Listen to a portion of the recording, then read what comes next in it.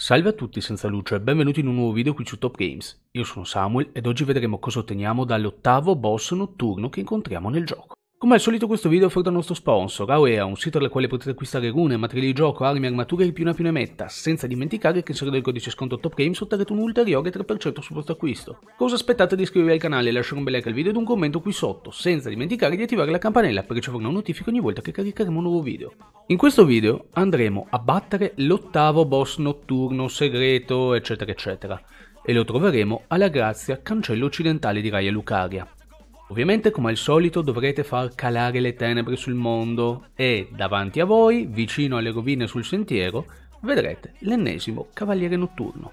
Oramai saprete benissimo come battere questi cavalieri dato che tutti hanno lo stesso pattern e praticamente la stessa difficoltà, l'unica variante è la loro arma. Contro questo boss non potremo usare l'ambiente di gioco a nostro vantaggio, ma sinceramente contro i cavalieri notturni nemmeno serve. Quello che effettivamente è degno di nota è la ricompensa che otterremo battendo questo cavaliere. Finalmente otterremo l'altra arma dei cavalieri notturni. Mentre la prima si ottiene alla penisola del pianto, l'ascia lunga si trova proprio qui.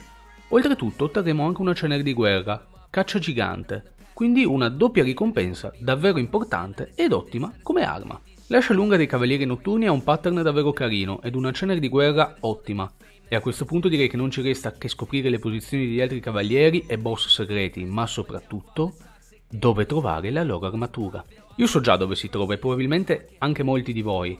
Cercherò di arrivare al punto di gioco necessario per ottenerla, per portarvi anche il loro fantastico set di armatura per chi ancora non lo sapesse. Detto questo direi che è giunto il momento di salutarci e per voi è giunto il momento se non l'avete ancora fatto di iscrivervi al canale, lasciare un like per supportarci e commentare qui sotto. Ci vediamo in un prossimo video senza luce, ciao a tutti!